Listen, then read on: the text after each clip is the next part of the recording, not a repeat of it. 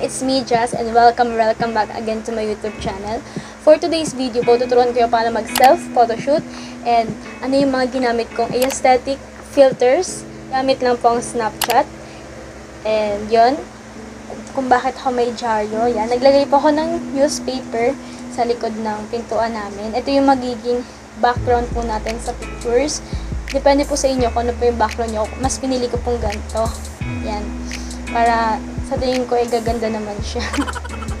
so, ito guys, yung ginagamit ko, yung Snapchat. Ayan, sa mga hindi familiar sa Snapchat, yan. Itong color yellow na parang may bell.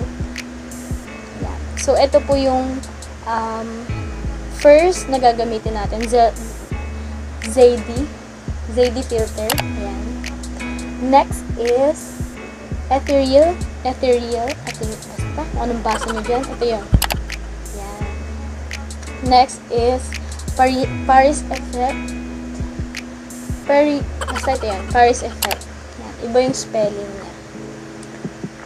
Next and last is H96. Yan, H96. So, ayun yung mga filters po na gagamitin natin for this vlog. So, let's start. Bago pa pala mag-start, yan, pumili kayo ng mga damit. Yan, na na feeling nyo ay gagana kayo. The any na damit. Yan. So, magpapalit muna ako and I'll be right back. So, ito yung first na damit na gagamitin ko. So, kinaganda ko ba to? Hindi. Ayan. So, ito yung first na damit ko na gagamitin sa ating self-photoshoot. Polo lang.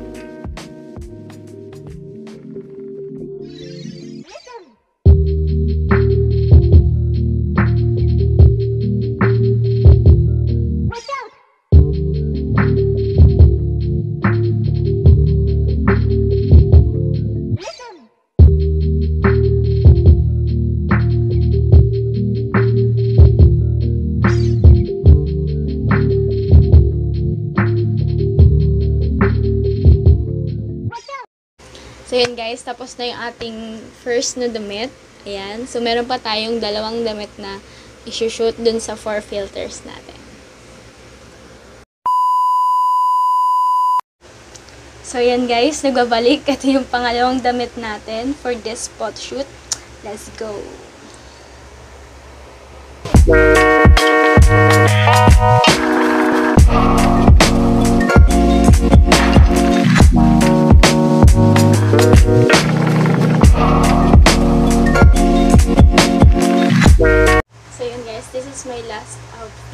sa four filters na to.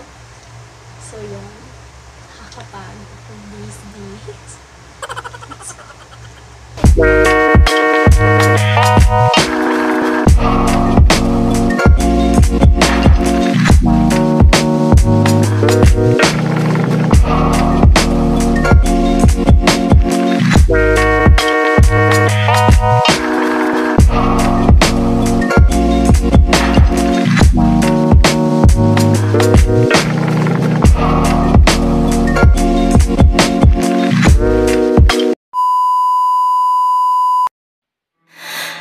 Thank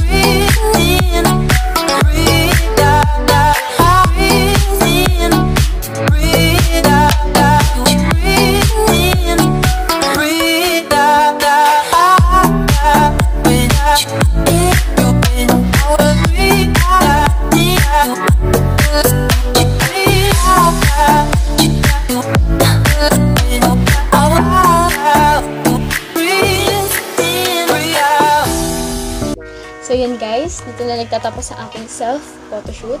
Ayan, kung gusto niyo pang magkaroon pa ng mga DIY, DIY photoshoot, comment down below. And I hope na naging happy kayo sa result ng magiging DIY self photoshoot ninyo. And, and sa mga hindi pa po nakakapanood ng DIY, DIY photoshoot part 1 ko, ayan, panoorin nyo na guys. And, yun, mag enjoy kayo. So, yun.